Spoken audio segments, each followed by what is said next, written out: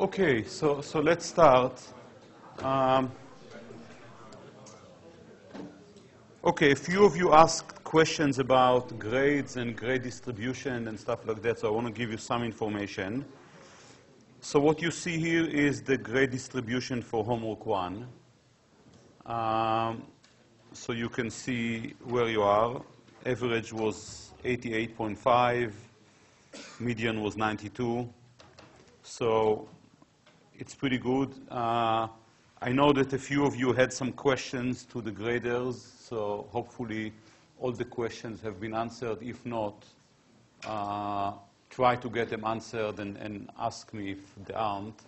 Uh, it's also the first time the graders are grading, so the, there were a few sort of questions on how exactly to grade. I mean, you're going to be in this position next year, so you know, uh, give them a little bit of a slack, but, but they should be uh, listening to, to your questions and, and respond to it.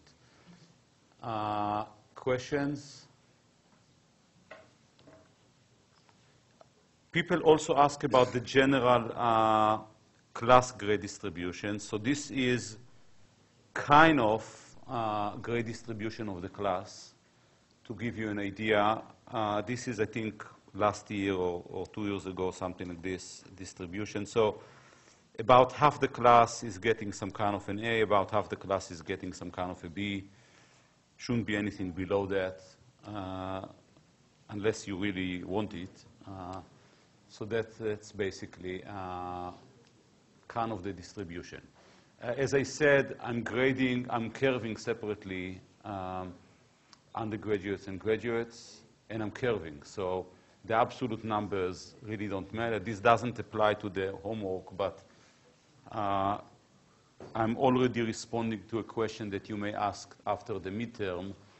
So it's not always easy to scale a midterm such that, you know, the average is going to be 86.5 and, uh, you know, this will be a nice distribution. Sometimes it's too hard.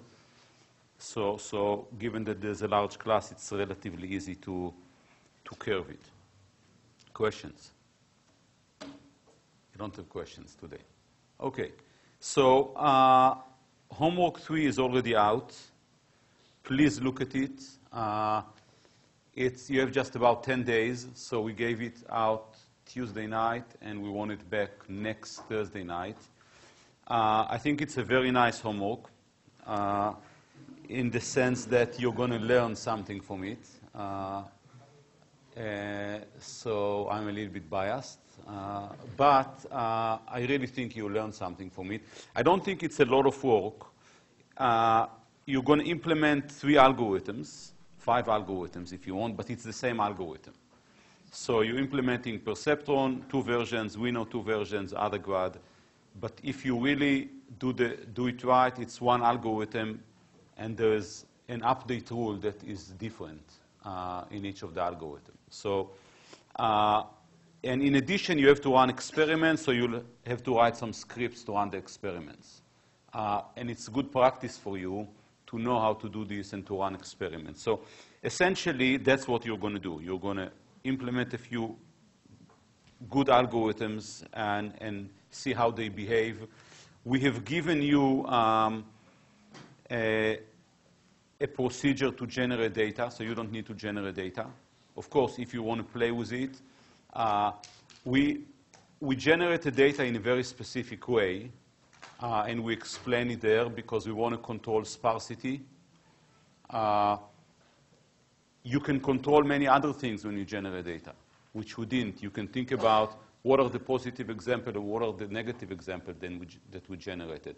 And if you have nothing uh, else to do, you can play with it and run experiment. You know, you can make the examples uh, set a little bit easier or a little bit harder and see what happens. Um, but for the problem set, we've generated data for you, and all you have to do is think a little bit about uh, how to run the experiments in an organized manner uh, and plot some graphs uh, and so on. So, um, questions? Okay. Final reminder is about projects. So the, the project proposals are due uh, in about two weeks. Uh, please think about it, you know, form groups, uh, send me ideas. A few of you have already had. Uh, if you have some questions, if you don't have questions and you know what you want to do, it's okay.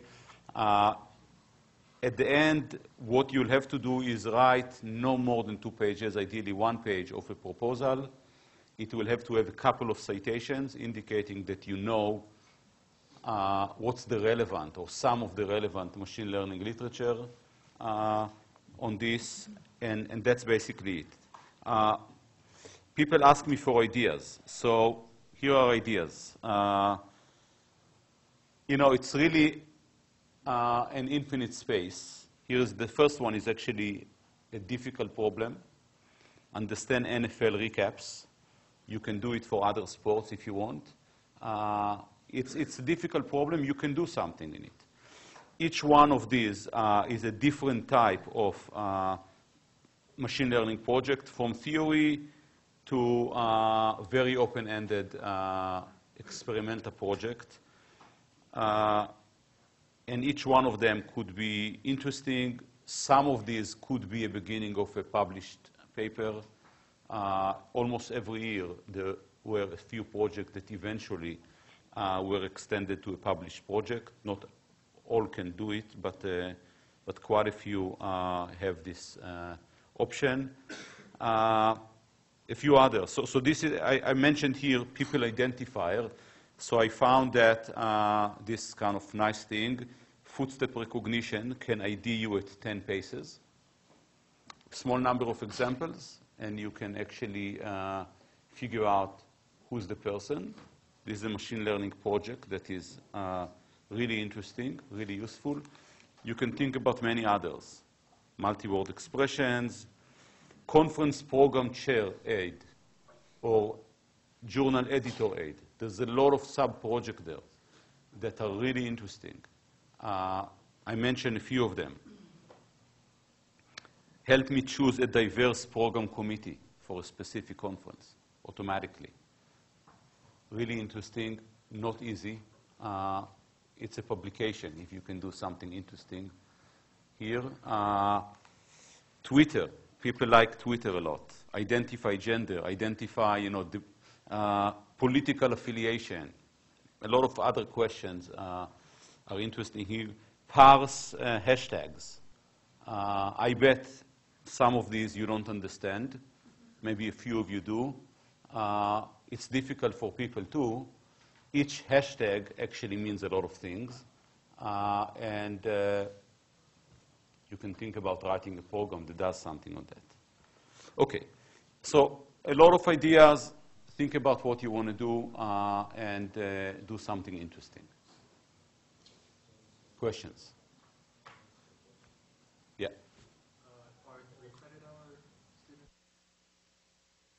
So undergraduate students that, as far as I know, cannot register for four can do uh, a project.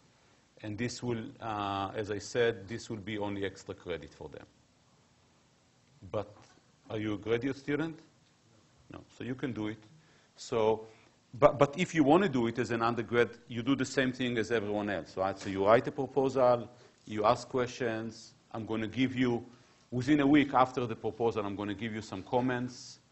Uh, we are thinking about a way of kind of peer uh, reviewing of the proposals. We need to figure out some technical issues.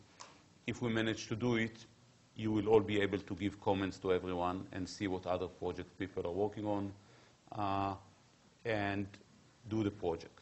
So it's going to be the same process. The only thing is that you can't lose from doing it. I mean, hopefully no one is going to lose because the projects are going to be good, but uh, just to make sure and to encourage undergraduates to do projects, it's only going to help. Okay, so let's, let's start uh, with the class. So, so where are we? So, in fact, let me remind you where we uh, were last week, um, or when was it, Tuesday. We talked about kernels. And uh, we basically uh, developed uh, developed the notion of dual representation and kernels in the context of perceptron. Uh, we understood what dual spaces. We understood uh, what, uh, how to run perceptron in the dual space. We understood what kernels are, and we gave a lot of examples uh, for kernels. Uh, really, the idea is we want to run linear functions, linear learners, and we want to do it in a more expressive space. That's the key idea.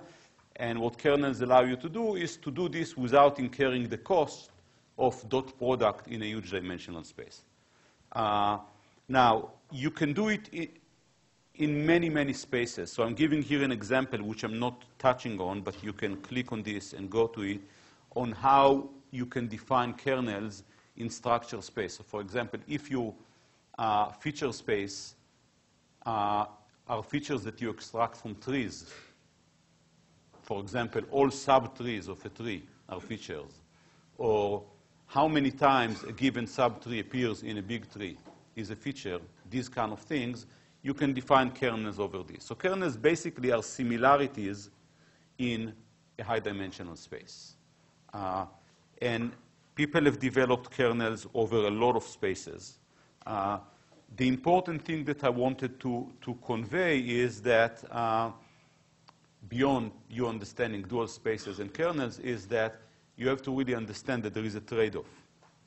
And we talked a little bit toward the end about the, the various trade-offs, and, and it's important to understand. So once we are done with this, we can talk about uh, next steps. So, so we understood a lot of, uh, several linear learning algorithms uh, perceptron, Winnow gradient descent in general. We showed how perceptron is really a gradient descent algorithms.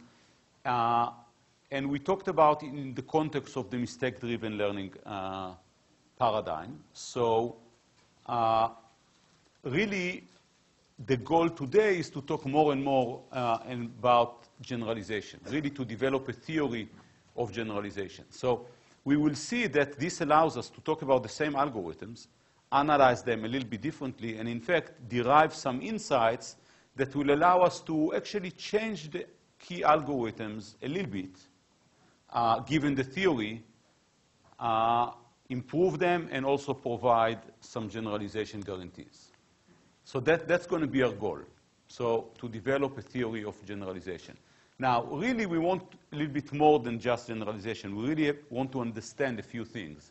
Uh, really, what are the general laws that constrain uh, inductive learning? Uh, what can we learn? Uh, what cannot be learned? Is there even a notion of, you know, you cannot learn these kind of functions?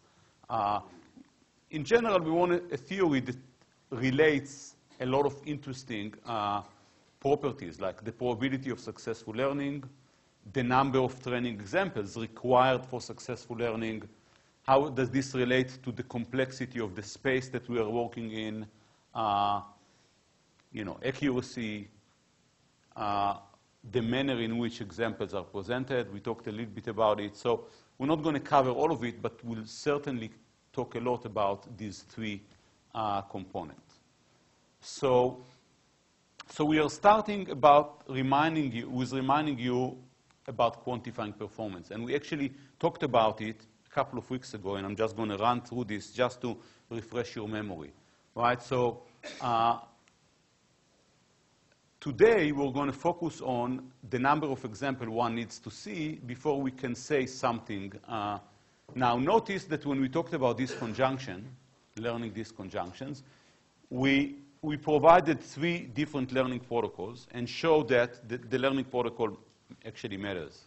Right? So we talked about the learner uh, proposes instances as queries.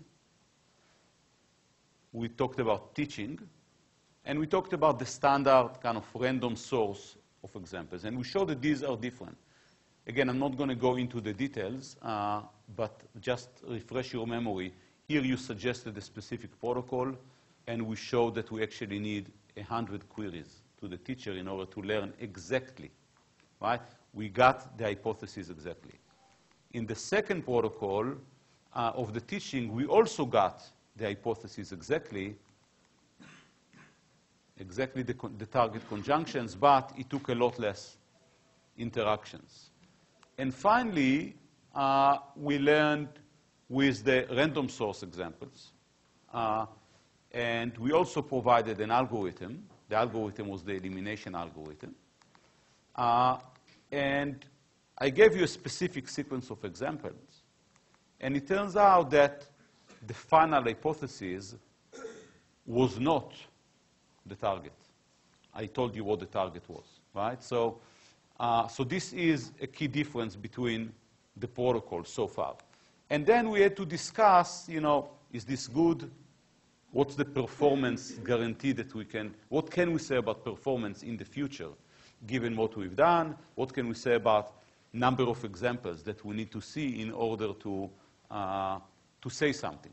Now, notice that so far, the analysis that we uh, did following this uh, was in terms of number of mistakes, right?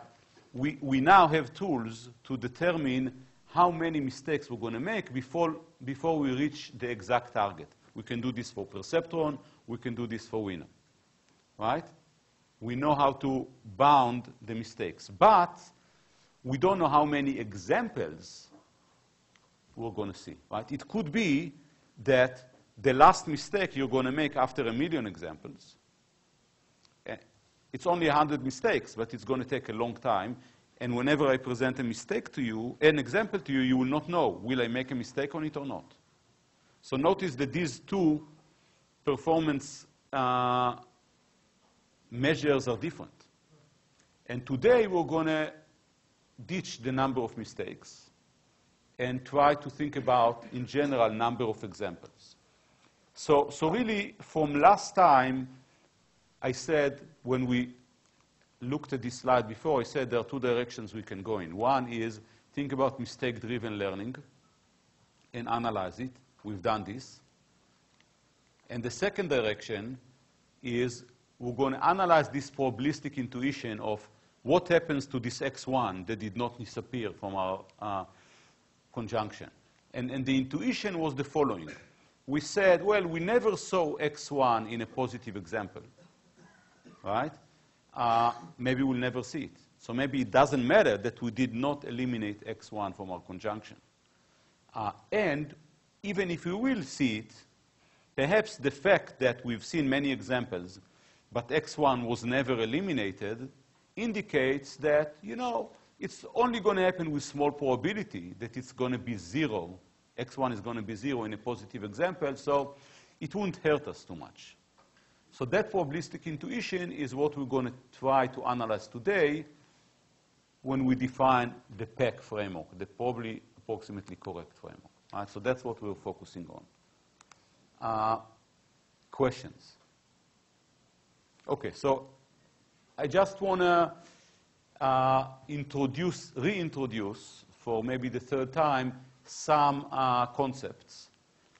We're talking about an instance space a collection. The reason I'm doing it is because I got some questions after the last lecture that indicate to me that some of the abstract concepts are not 100% clear to you. I know that this could be confusing, so I want to make sure that, that this is kind of, uh, you've digested it completely. We, we deal with a space of examples. We typically call it an, the, the instance space, X. And we deal with another space, which is a space of functions two different spaces, examples and functions. Uh, in fact, we deal with several function spaces. One of them is the space of concept, space, concept spaces, sort of the target function is there. And another one is the hypothesis space. This is what our learning algorithm plays with. These are the possibilities that the learning algorithm entertains. Now, this is a real space. We actually touch the hypothesis, the functions there. This is an imaginary space. We don't need, need to really have it. Maybe it doesn't exist. Right? Maybe you can mm, uh, sort of instantiate it using a distribution of examples. But we can still think about this as, as something that exists. Now, from X, we take a collection of training examples. uh, positive and negative examples, uh, basically examples, and then the label that comes from the target concept. And this is our example. Our goal is to determine the hypothesis in H that is equal to F, or eventually a close approximation of F. But it's important for us to figure out, to understand what exactly are we after. And there are two options. Are we after a hypothesis, H, such that H is equal to F for all x in S? Or such that it's equal to, H is equal to F for all x in X, the instance space. Now, this you would say should be relatively easy in general, and it's uninteresting because we care about what's going to happen for, to our performance in the future on previously unseen examples. And this is really uh, an example that would kind of bring this home. Here we are consistent with uh, the example we've seen, but not consistent with all examples that exist in the space. So in order to refine this and talk about it in a more concrete way, I'm going to add a couple of sentences here. So we are going to assume the training instances are generated by a fixed unknown probability distribution, D. And when we learn, we, we want to determine a hypothesis, H, that estimates F, where we evaluate it by its performance on, this, on other instances that are also drawn according to D. So there is this probability distribution that governs the generation of examples, and this probability distribution is fixed. It governs the generation of examples in training. It's going to govern the generation of examples in test. And that's going to be key, as you will see when we do analysis. Because if someone changes the distribution and gives us training from this part of the space, and test us on this part of the space, maybe we, we are not able to do anything, or at least we cannot guarantee that we're going to do anything. Um, okay, so, so you can think about it intuitively uh, in this way. So we have seen many examples according, sampled according to this. Again, we're thinking about this as our example. Uh, and what you can think about is the following uh, diagram here. So f is the target function, the blue circle here, where the way I think about it, everything inside the blue circle are positive examples, even everything outside are the negative example. And this large rectangle is my universe, the whole instance space. Now, uh, the hypothesis that we learn could be different. Right? These inside the red circle are all the examples that H says are positive, and outside it are all examples that H says are negative. And you can see that because of the way we've learned and because of the examples that we've seen, these are not identical. So in all the positive example, X1 was active, it's very likely that there will be, it will be active in future positive examples, which basically indicates that the symmetric difference, we hope that the symmetric difference between F and H is going to be small because of this. Right? And now, another thing that is important for you to, uh, to think about, this diagram here, don't think about it as uniform distribution. Right? So it's not that the area of these regions represents the probability of you making a mistake because uh, I don't know how to draw it otherwise. Really, what you care about is what is the distribution, what's the support that the distribution gives to each region. Okay? Specifically, if you think about this conjunction, is this picture correct? Yeah. So because we are talking about conjunctions, this is part of your homework, H is really a subset of F. We will never make mistakes on positive examples, right? So really the picture should be this, right? So all positive examples of H are also positive example of F,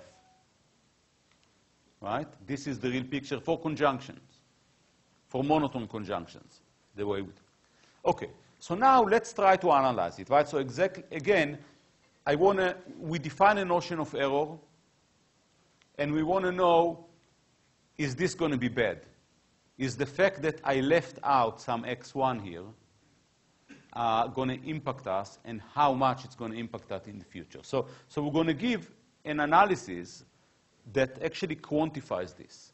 So, so in order to quantify, I'm going to define for a literal z, I'm going to define P of z to be the probability then in my sample, according to the distribution D, the example is positive and z is false in it. Just a definition, okay? P of z is the probability that z uh, is false in a positive example that I sampled. Now, I claim that that means that the error of my hypothesis H is bounded by the sum of all P of z's where z ranges over H, all those that are in H. Let's try to justify it. So we'll go through a few steps. It's, it's actually, you probably see it already. So notice first that P of z is also the probability that a randomly chosen example is positive and z is deleted from H, right? Because it's a conjunction. So if it's positive and z is false in it, it's going to be deleted.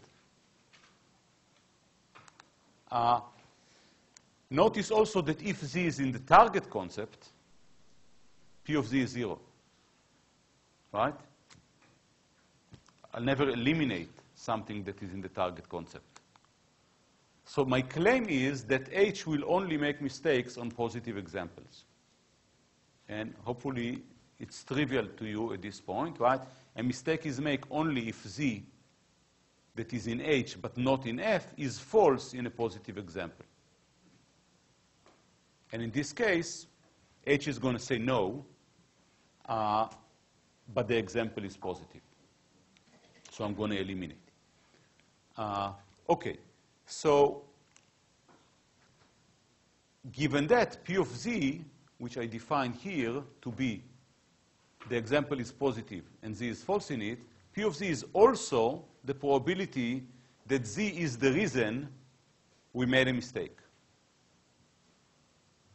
uh, in a randomly drawn example. Now notice that in a given example, I could have multiple reasons for a mistake.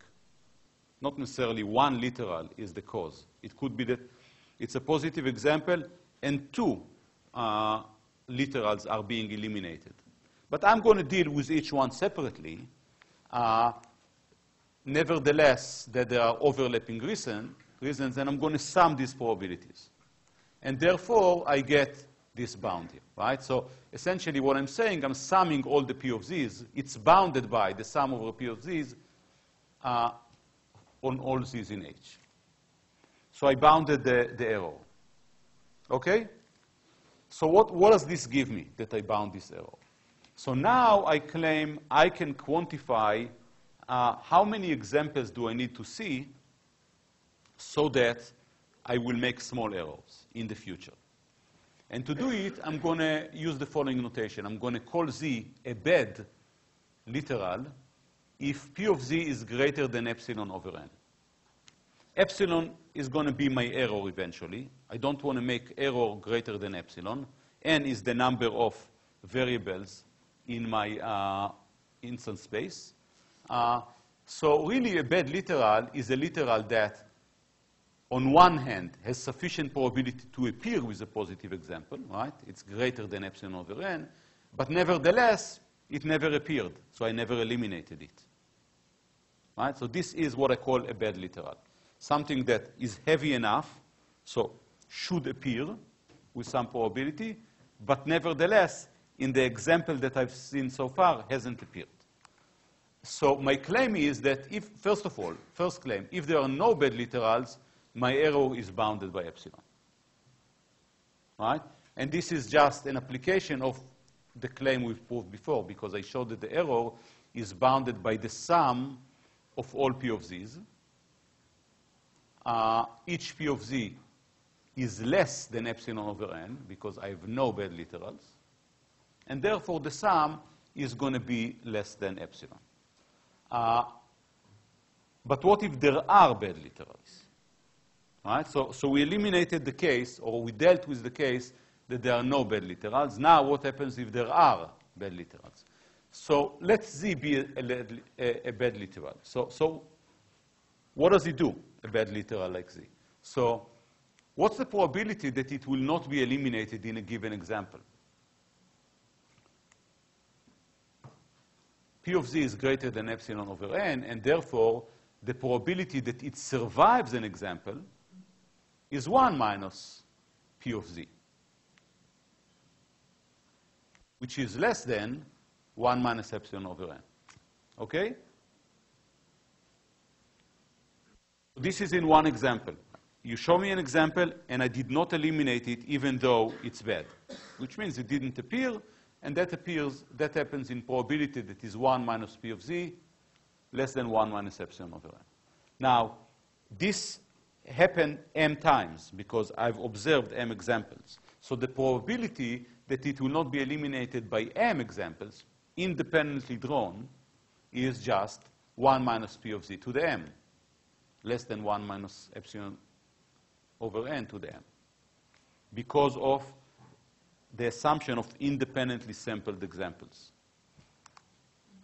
Uh, now, this is for one literal. Uh, there are at most n bad literals, so the probability that some bad literal will survive, our x1 from our example, some one will survive, is bounded by n times this. Okay? Simple uh, probability. So, so here is what I have now. Uh, I have a bound on the probability that some bad literal survives all my training data. And what do I want? I want this to be small, right? I, this is uh, the case where I'm going to make mistakes. So I want the probability that I will make mistakes to be small. I want to try to bound it uh, by some delta, right? So again, I want to choose m, the size of my samples, uh, my training data, large enough so that the probability that some z survives m examples is less than delta. So, uh, okay, this is just rephrasing of this. So that's what I want. I want the probability that this survives M examples, which is this, to be less than delta. Uh, and really, I'm seeking here to figure out a bound on M. How large should M be so that I know that the probability that I will make an epsilon error remember that here we showed that epsilon is the bound of my error. Uh, so the probability that I will make epsilon error is going to be small, less than delta.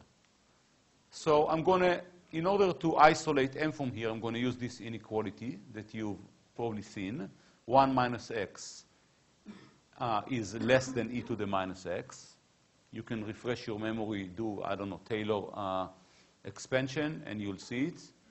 Uh, and therefore, I'm going to, so my x here is this epsilon over n. So I'm replacing 1 minus x with e to the minus x, and I'm getting this. So it's, it's sufficient to require that n times e to the minus m epsilon over n is less than delta. And here, it's easier to isolate m. I can just take log on both sides. And when I do this, I get that m needs to be larger than something that behaves like n over epsilon, and is logarithmic in n, and is logarithmic in 1 over delta. So the interesting thing from you, from your perspective here, it's inversely proportional in epsilon. Makes sense, right? So if I want small error, I'm going to pay and have larger m also inversely proportional in, in delta, actually in log of delta, but, uh, which means if you want delta to be small, sort of the bound, the probability that you'll not make errors or you'll make small errors to be small, you're going to pay in looking at more examples. So more examples. So this actually should make sense here. So I need to see at least these many examples to guarantee a probability of failure this uh, epsilon less than delta. So really the theorem is that we proved is the following. If m is as above, then with probability at least 1 minus delta, there are no bad literals. Or, equivalently, if m is as above, with probability 1 minus delta, my error is going to be less than epsilon. Okay, so what is the game we've played here? We used our algorithm to learn conjunctions. We don't know if the conjunction we ended up with is the right one or not, because no one told us what's the right conjunction. But what we prove now is that if you choose the number of examples you presented to your algorithm appropriately, you had your own epsilon and your own delta. I don't know what they are, but maybe you chose something accordingly you chose an M. If you've given your algorithm these many examples, you know that's going to be okay. Every future example that you'll see with probability at least 1 minus delta will have a small error. Now, you can plug in some numbers, and you'll see that the number actually come up pretty large. Uh, for n 100, dimensionality of 100, for 0.1, 0.1, you need almost 7,000 examples. It's a large number. Uh, but you can reduce n to 10, and then 0.1, 0.1 gives you only 460 examples. Notice that even if you want a much, much better delta, that doesn't impact the number of examples so much because it depends on, one over, on log 1 over delta. Okay, so, uh, so basically we solved the conjunction problem right? We know for conjunctions that we can get some guarantees. But of course, we want a little bit more than that, right? So we want a more general theory. But this gives you the intuition of why uh, we can actually do something. We can prove something in general about uh, generalization. So let's step, uh, again, back up to see what is the general game we're playing here. So so essentially, what is the prediction theory in general that we, we can talk about? So again, we have an instance space. We have an output space, which is plus or minus 1 in this case. We are making predictions using this function hypothesis that we are learning. There is a distribution D. It's not known, but it's fixed. Uh, and there is a set of examples that we've learned, that, that we're using in order to learn. So once we have this notation, we can define the notion of a true error. This is the generalization that we're going to make, right? The real error relative to the distribution that we have no clue what it is, D, the probability under D that H is different than Y. Y is the label in our uh, set of examples. Uh, and there's a notion of empirical error, what we can measure on our training data, which is written here, right? The probability of X being in S such that this different, is different, which is, you know, just, a, just an expectation. So given that, we can ask the question, can we describe or bound the true error given that we can see what we see, the empirical error? That's our goal, right? Uh, moreover, we can ask another question for which I'm going to introduce the notion of a function space, the set of target functions, and the set of hypothesis space, the set of possible hypotheses that we are entertaining. And now I can ask, is C learnable? Now that I have a notion of, can I relate, can I get small to error, I can ask, can I learn C? Where I'm going to define what learn is in a couple of slides, but intuitively that means if I can minimize this gap between empirical error and true error, I'm going to say that I can learn it, right? It's okay. If I cannot, I cannot learn it. We'll have to see whether this can ever happen. Are there things that we cannot learn and are there things that we can learn? But, but at least once we have these definitions, you can imagine that we can ask this question is it possible to learn a given function in C using functions from H, given this learning protocol that we have? So this is, this is kind of the general type of questions that we, we want to uh, ask. Questions? Okay. So uh, again, th this is really key here. So at this point, it should be clear for that, that we cannot expect the learner to learn a concept exactly, right? Uh, there will generally be way too many concepts that are consistent with what I've seen so far. Uh, uh, and those that I haven't seen potentially could take any label, modulus some assumptions. Uh, so we have to agree to misclassify some uncommon examples under some definition of uncommon that will have to relate to either F, uh, assumptions on F, or the probability distribution. So we can't even expect always to learn a close approximation to the target concept. Because sometimes the sample that we see is just not representative. Right? So even if there is a probability distribution, it so happened that we did not sample uh, a representative sample or not sample something that is similar enough to what we're going to be evaluated on. So we will not be able to learn close approximation. So really the only realistic expectation is of a good, of a good learner is that with high probability, it will learn a close approximation. So with high probability means this delta, or this 1 minus delta, and the close approximation is the error that we're going to make the epsilon. That's why I need a delta and an epsilon when I define learning. And now we can come with the definition. So this is the goal of the probably approximately correct framework.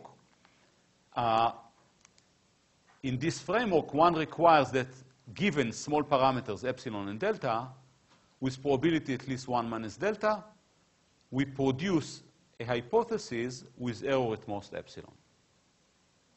And, and really, it's important to realize that the only reason we can do this is this consistent distribution assumption. The fact that there is one probability distribution unknown, but it exists, that governs the generation of the data, both the training data and eventually what we care about. Uh, okay, so, so here is a concrete definition uh, of, of learnability, of PAC learnability. So I'm considering a concept class defined over instance space X, uh, instances of length n.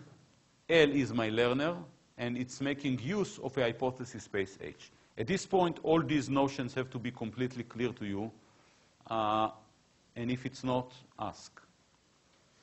I'm going to say that the concept class C, this is a collection of functions, is PAC learnable using L, using algorithm L and hypothesis class H, if for all functions in F, for all distributions D over X, and for some fixed epsilon and delta, uh, the algorithm L, given a collection of M examples, that are sampled independently according to D produces with probability at least 1 minus delta a hypothesis that has error at most epsilon.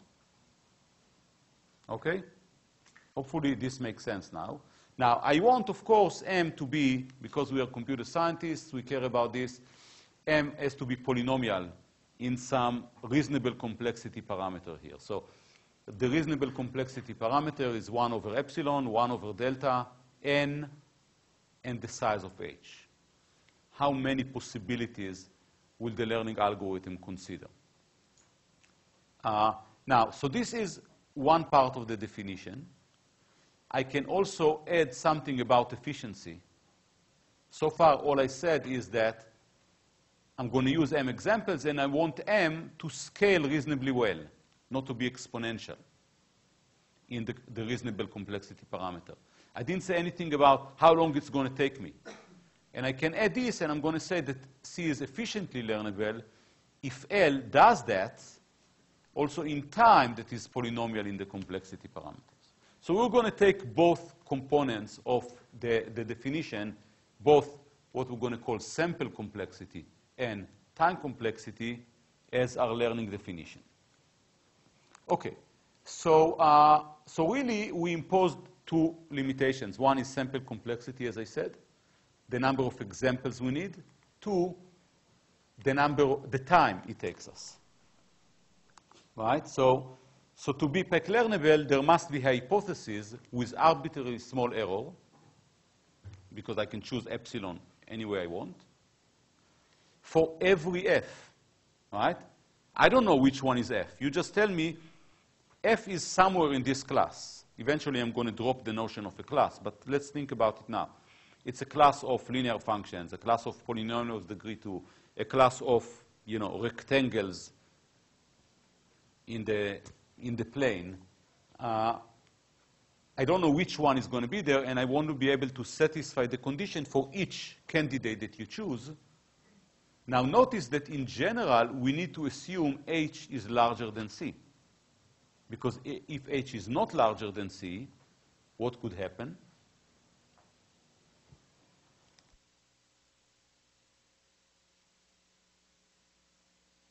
We cannot.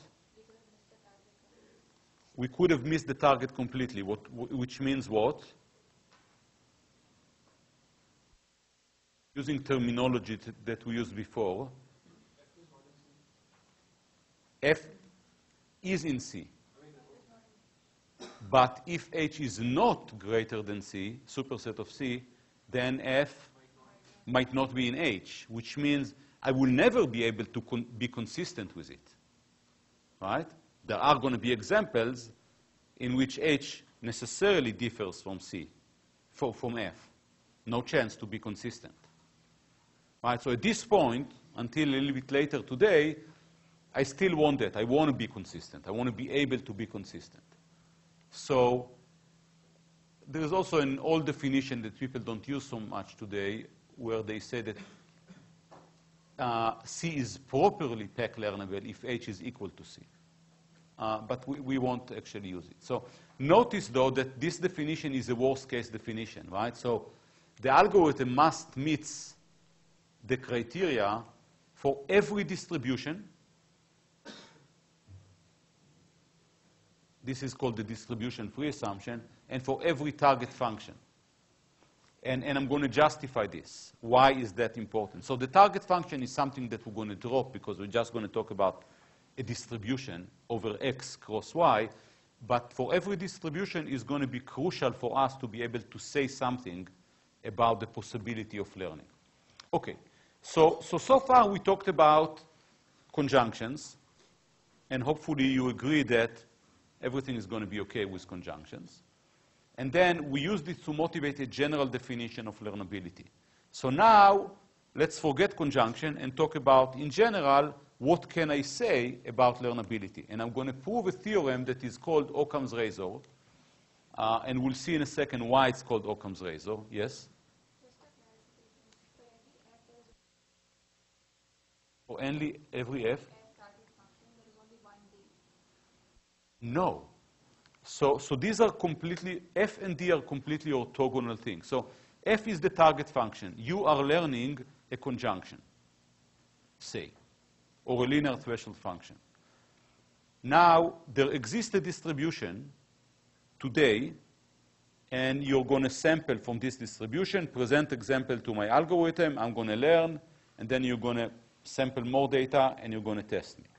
Tomorrow, with the same F, there could be another D that governs the generation of these examples.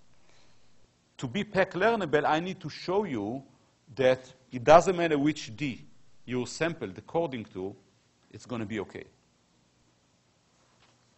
Yeah.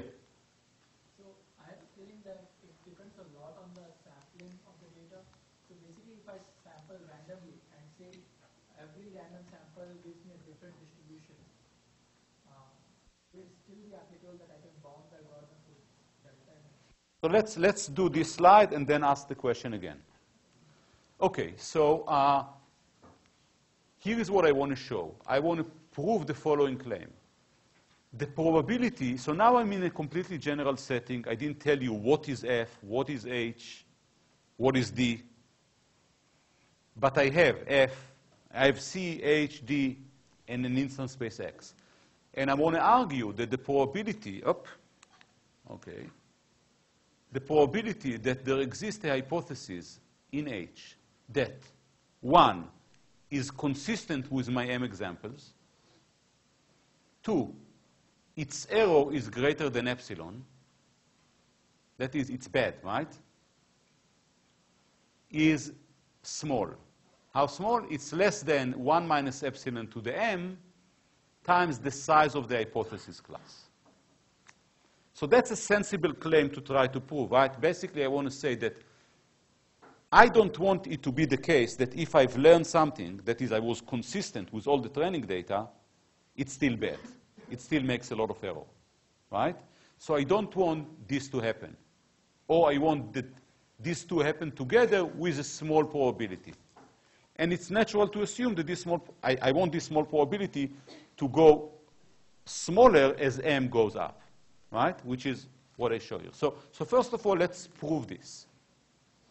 And the proof really is very similar to what we've done before, only that now I'm not talking about conjunction. So let's assume that H is such a bad hypothesis. That is, it satisfies both 1 and 2 then the probability that it's consistent with one example is less than 1 minus epsilon, right? Because of this. Right? Its error is greater than epsilon, so the probability that it's, it predicts correctly on this example is uh, less than 1 minus epsilon. Now, I'm going to observe m examples that are drawn independently of each other, and the probability that H is consistent with all of them is therefore less than 1 minus epsilon to the m. Now, this is for this specific hypothesis. The probability that some hypothesis in my capital H space is doing it is this times the size of H, just a union bound. And so basically, I proved uh, that uh, these two are going to happen together with this probability. Now, notice here that I really don't need F for this argument, really. I can deal, I need H, and I can say that I'm sampling examples from X cross Y, and, and instead of writing here h is equal to f, I can say h is equal to y, where y is the label of x in my sample. Just an issue of convenience. Now, let's go back to your question. What, what do I uh, need here? I don't know what d is. All I know that there exists a d. Right? So it's true that uh, this epsilon and delta, I'm going to choose epsilon and delta, and it could happen that, you know, the sample is going to be good or bad, but worst case, this is what's going to happen, right? Irrespective of D. Okay? So now let's see what this gives us. So again, what I care about is I care about that this guy is going to be small, and uh, I, I want to isolate m to see how small it's going to be. So I'm going to do the same thing as before. I want this to be less than delta. Uh, I'm just doing the algebra a little bit different than before, but still I'm using the fact that e to the minus x is less than 1 minus x. Uh, and when you replace it there, or you can first take the log and then replace it, do whatever you want, you isolate m, and this is what you get. You get that m has to be greater than 1 over epsilon. Makes sense, right? Times something that depends, again, on 1 over delta, or ln 1 over delta. And what I get here is ln size of h. Before I add the n, which is kind of the log of the number of conjunctions. And this is really very important. So first of all, for the first time, and this is why we call this Occam's razor, the first time we see that we have a preference towards small hypothesis spaces. Because if you have a large hypothesis space, sort of a large set of options that the learner can choose from, you're going to pay in the number of examples you have to see. And it makes a lot of sense, right? If the learner has a lot of flexibility, uh, you need to see more examples in order to converge to something. So, so really you see a preference to this. Um, so, but this immediately gives us uh, an algorithmic perspective. I mean, so I'm calling it here the consistent learner scheme. What does it tell us about this consistent learner scheme? It, it says all you need from a learner is look at these M examples with the appropriate M given your desired epsilon and delta. Look at these M examples, be consistent with them, and going to be good. That's what the theorem says, right? If you are consistent within M examples, life is going to be good in the future. With high probability, 1 minus delta, you're not going to make more than uh, epsilon error. That's what it says, right? Agreed? Go back to here. If M is chosen appropriately, then if you are consistent, your error is going to be less than this. Right? Or the probability of this is going to be as small as you want, delta. So with probability 1 minus delta, this is not going to happen, which means if you are consistent, your error is going to be less than epsilon. So basically what we said on the consistent learner scheme is it's a good generic learning algorithm. Well, learning paradigm at least, right? So we showed that an M consistent hypothesis generalizes well, has error less than epsilon. Now, I didn't tell you how to generate, how to get to H. I just told you, if when I give you a sample, you manage to find something that is consistent with it, you should be happy. Is this clear? So this is a very generic learning algorithm. Well, it's not an algorithm yet, but it's a general uh, kind of scheme for a learning algorithm. Questions? Yeah. are we assuming that the capital H is a super? We have to. Very good question. Are we assuming that capital H is a superset of all the functions we may care about? We have to because otherwise we will never be, we, we cannot guarantee that we are consistent, right? So at this point, yes, H is a superset of what I call C. Yeah. We're going to relax this a little bit later. Yeah. Again, going back to the first question that I asked, if I'm doing a random sampling, it might be possible that I'm not seeing, seeing a lot of, uh, you know, functions in C. Yes? Then, then this will not be valid, right? No, no, it's, it's valid. It goes into my delta.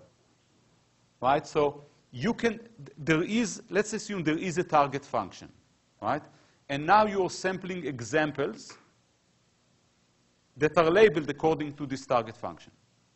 It's possible that you are a very bad sampler and you sampled it bad, and now when you give me a new example, I have no idea. I mean, I'm going to make mistakes. But all I'm claiming, I proved that this goes with probability less than 1 minus delta. Or less than delta, sorry. Okay? So I, I already account for the fact that the sample uh, is bad. And I prove to you that if I'm consistent with the M from your bad sample, with high probability it's going to be okay. With some probability it's not going to be okay. This is exactly the, the bad sampling uh, case. Yes?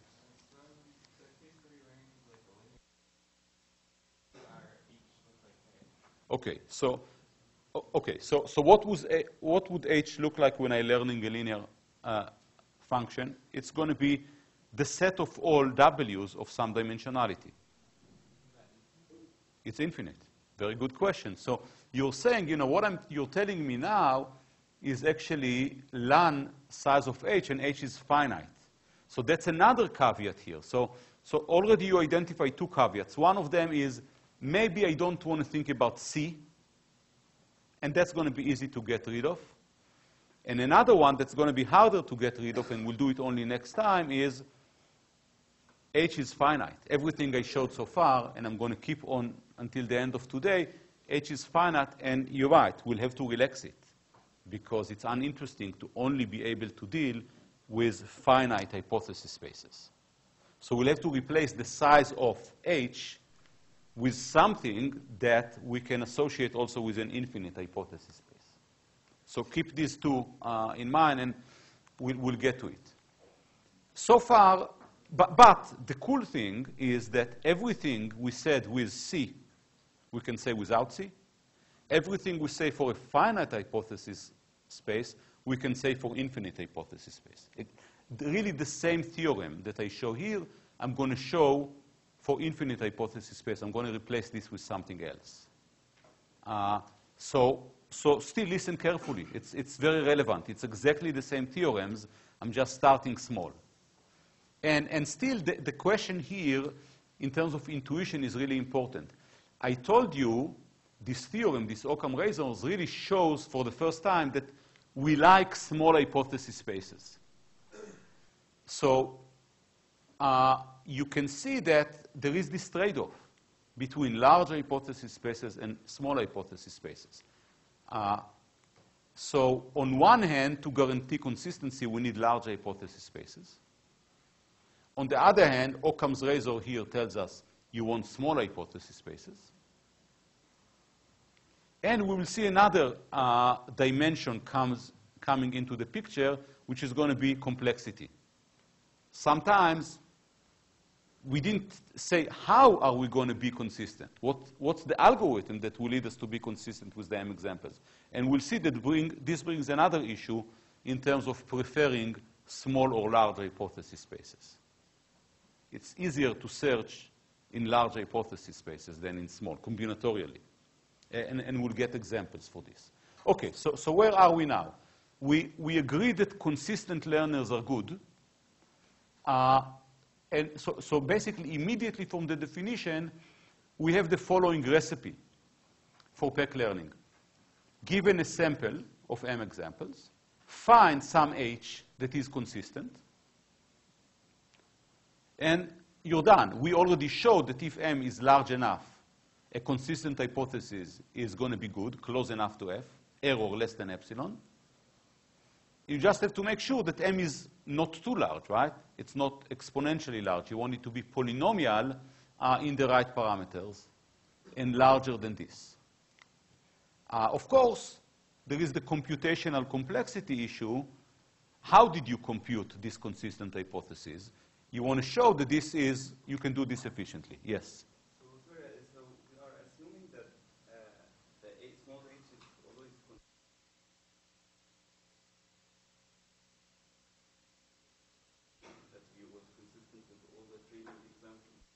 Why not? Um,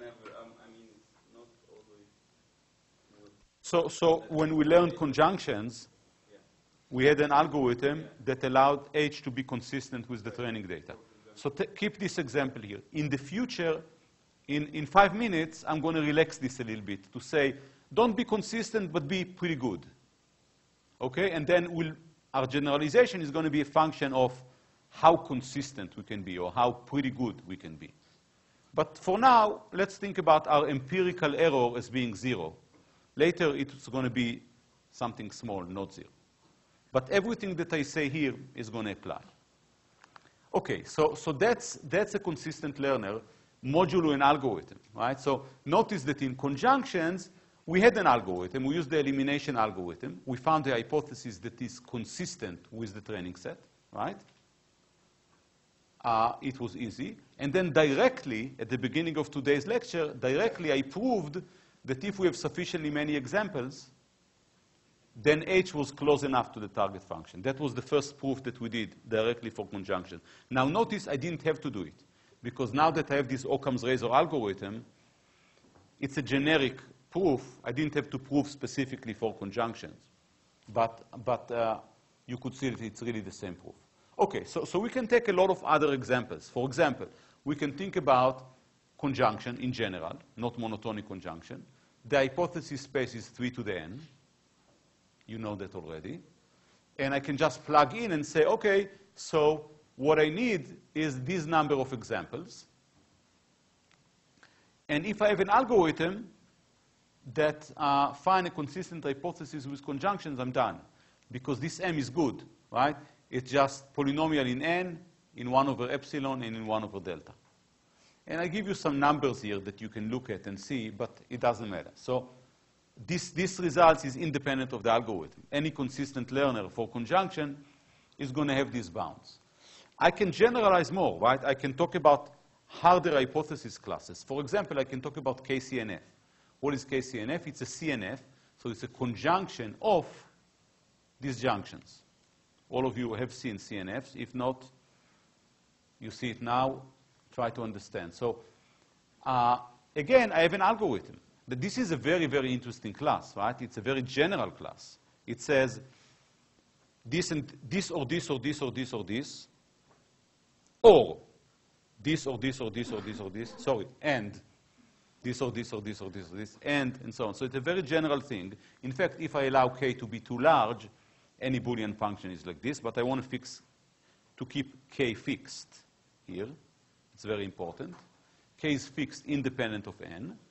Uh, but I have an algorithm. All I need to do is take a sample, find a hypothesis that is consistent, and then determine the sample complexity. And it's very easy to determine the sample complexity. All I need is to count how many functions are here. And you can do it. How many functions are here? I'm kind of helping you here. So notice that F is a conjunction of things, where each one of these things is a disjunction of up to k things. So how many disjunction of up to k things are there? 2n, because there are n variables and then their negation, 2n literals.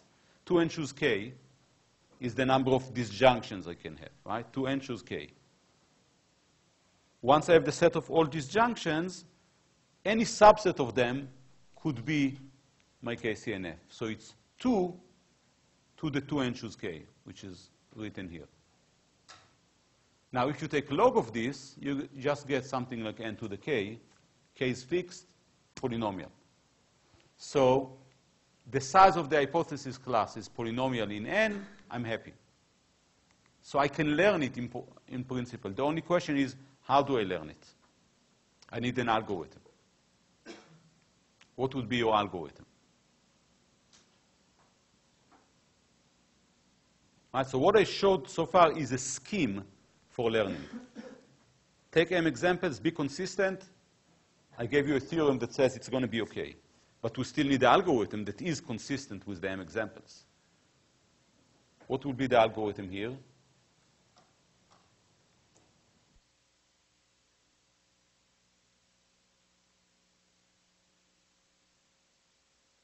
Ideas?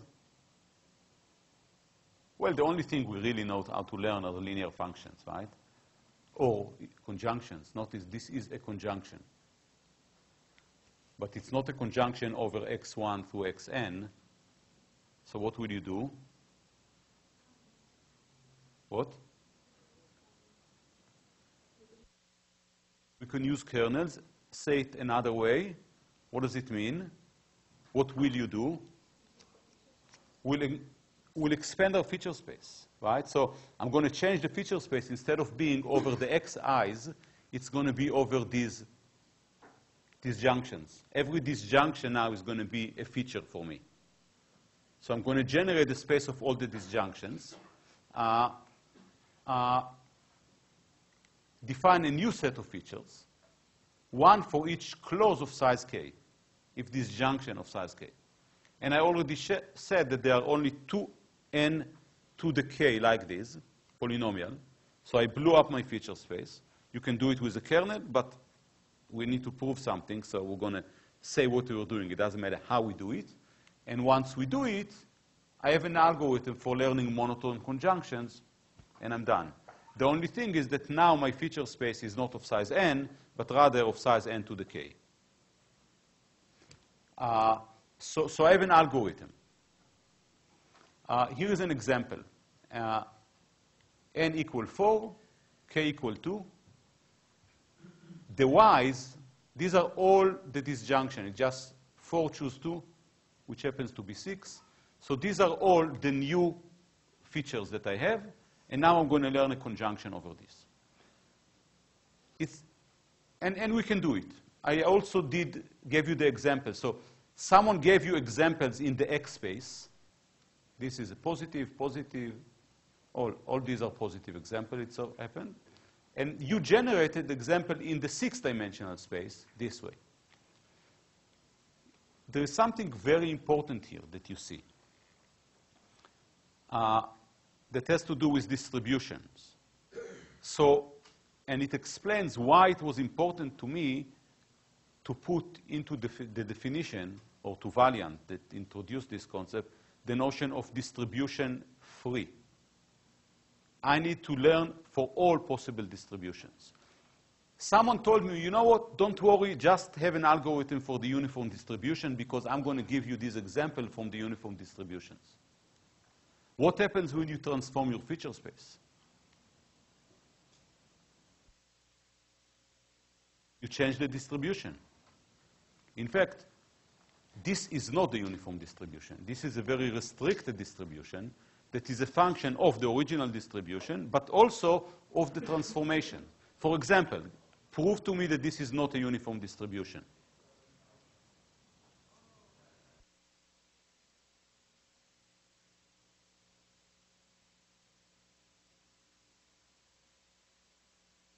Okay, that's, that's one. So a lot of, only one way to get to 0, 0, 0, 0, 0, and many ways to get to all ones. You can also show me that there are some dependencies. Some examples will never appear. For example, if you look at this, you see that if y1 is on and y4 is on, y2 must be on. Right? Because y1 means that 1 or 2 are on, 4 means that 2 or 3 are on, this is on. So you'll never have an example where y1 is on, y4 is on, and y2 is not on. Cannot be the uniform distribution. So you see that the distribution-free assumption is crucial. We'll see it again when we talk about boosting, for example. It's really a crucial assumption to, uh, to our definition. Okay, so I'm not getting all the way to relaxing the two of the things that we wanted to relax we're, we're going to get to it uh, on Tuesday. But really try to understand the definition. We're going to continue with it, generalize it a little bit, and, and bring it to a very realistic situation. So far, we are still a little bit uh, unrealistic with questions, final questions. Okay, so have a good weekend.